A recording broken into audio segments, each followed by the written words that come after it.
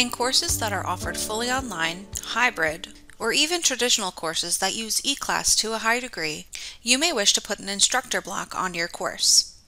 In the instructor block, you can add a picture of yourself, your name, a link to a welcome message, and a link to a page with your instructor biography and contact information. By doing so, you add a level of personalization to the course, and students, particularly those learning from a distance, may feel more comfortable reaching out to you. To do so, turn editing on and click Add a Block under the left-hand menu. From the menu, click HTML. Now you will notice a new block has appeared on the right-hand side of your course.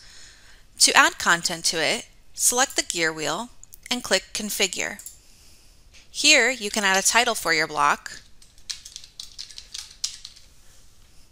and add content. If you'd like to add a picture, you can click Insert Image and find an image to use in the block.